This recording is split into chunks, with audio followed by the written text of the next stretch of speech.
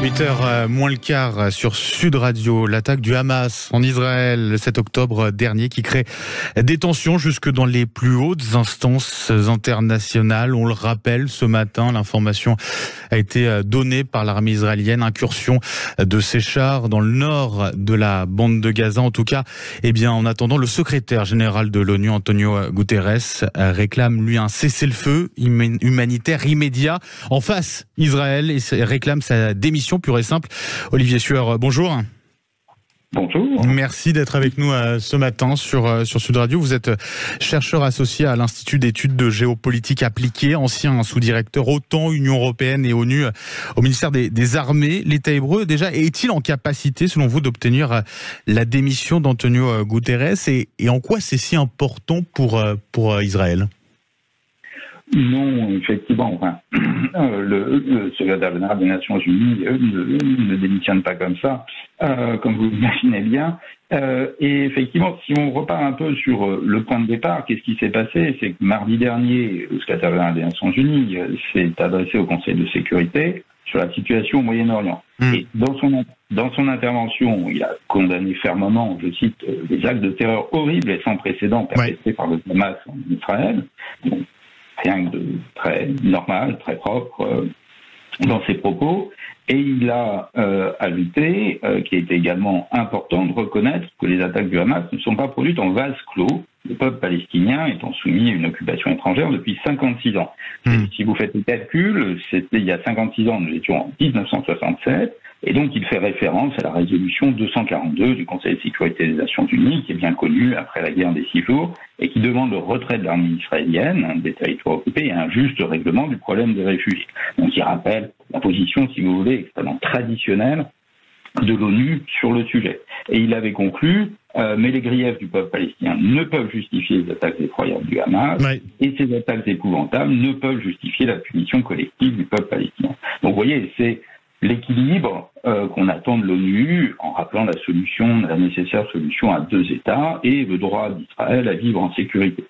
Euh, mm. tout en appelant d'ailleurs au respect du droit international et militaire à Gaza. Et pourtant, là-dessus, l'ambassadeur d'Israël, effectivement, auprès de l'ONU, a appelé à sa démission et vous avez une forme d'explication euh, par le ministre des Affaires étrangères euh, israélien qui a posté euh, sur, sur Twitter, enfin pardon, sur X maintenant, il n'y a pas de place pour une approche équilibrée, le Hamas doit être effacé de la surface de la Terre. Donc, et le Premier ministre israélien n'a pas commenté, à ma connaissance, le, le, sujet. Donc, si vous voulez, voilà. Hmm. Vous avez l'expression finalement avant tout d'une frustration euh, c'est l'ambassadeur israélien, attention, hein, c'est pas un diplomate de carrière, c'est un pur politique, un membre éminent du Likoud, qui aurait évidemment souhaité une prise de position beaucoup plus univoque hmm. de la part du secrétaire général des Nations Unies, mais ce qui n'est pas possible au vu de l'historique du conflit et des résolutions adoptées d'ailleurs par le Conseil de sécurité des Nations Unies. Hmm. Hmm. Ça, veut dire aussi que qu'Israël a un, poids limité finalement au sein de l'ONU? J'allais dire, vous voyez, au sein de l'ONU, euh, effectivement, chaque, pays a un poids relatif par définition, et euh, Israël, évidemment, euh, est particulièrement isolé de, de, manière traditionnelle sur le conflit mmh. arabe par rapport à l'ensemble des pays, euh, j'allais dire, des pays qu'on appelait militairement des pays en développement, mmh. qui sont dans une logique de décolonisation et qui euh, considère que l'occupation euh, israélienne, euh, notamment en Cisjordanie et par le passé à Gaza, sont constitutifs d'une forme de colonisation pour ces pays. Mmh. et dès lors, qui se prononce de manière systématique contre contre Israël, si vous voulez. Mmh. Après, le, si vous voulez, le, le, président Biden, le président Joe Biden, le 20 octobre, à son retour d'Israël, avait déclaré j'ai averti le gouvernement israélien de ne pas se laisser aveugler par la colère. Hum, hum. Le, compte tenu du traumatisme euh, de l'attaque du Hamas, l'extrême sensibilité qui en découle, ce qui est d'ailleurs parfaitement compréhensible hein, euh, de la part de la population israélienne, évidemment. Euh, mais là, d'un point de vue purement diplomatique, si vous voulez, appeler à la démission du secrétaire général des Nations Unies, c'est assez contre-productif.